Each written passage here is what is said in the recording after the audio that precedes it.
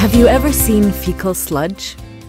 It comes in many forms and consistencies and can always look different, like these real samples. It is the sludge that is collected in on site sanitation systems, for example, pit latrines and septic tanks. Managing fecal sludge is different from traditional wastewater treatment. Wastewater in sewers is diluted with water and is homogenized as it goes to a treatment facility. As a result, its characteristics are relatively consistent and predictable. Fecal sludge needs to be collected and transported to a treatment facility and is highly variable. Typically, it consists of more than 90% water, and because water is heavy and expensive to deal with, dewatering fecal sludge is an essential treatment step. Dewatering is the removal of water from a suspension and concentrates the solids. It reduces the volume and weight of fecal sludge. Drying beds are commonly used to dewater fecal sludge. However, they require a large amount of land, which is costly in urban areas, and they cannot be used where adequate land is not available. Improving the dewatering speed would increase the amount of sludge that can be treated on drying beds and reduce the land area needed.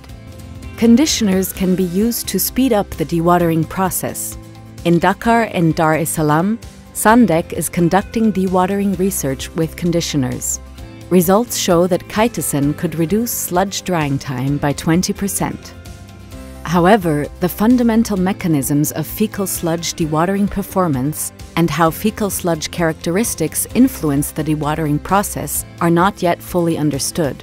Because of this, and because fecal sludge is so variable, we cannot reliably determine conditioner dosing. More research is needed to understand the principles of dewatering and to develop better dewatering methods.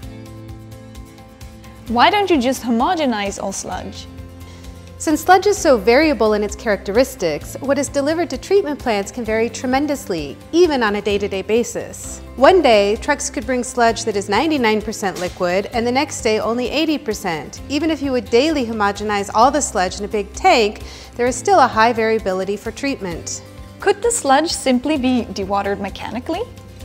Mechanical dewatering of fecal sludge is possible, but doing so efficiently would still require the use of conditioners. And these machines are also expensive and have not yet been fully adapted for fecal sludge. Commercial polymer conditioners and chitosan have been used to increase dewatering performance.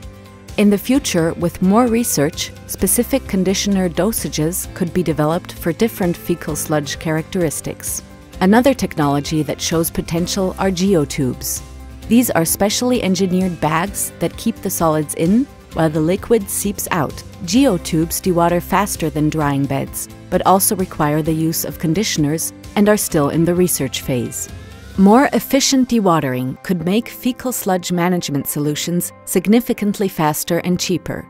Each step of the fecal sludge management service chain can be improved by dewatering, transportation, treatment, and resource recovery. If you want to learn more about fecal sludge management, then watch our other videos via this link.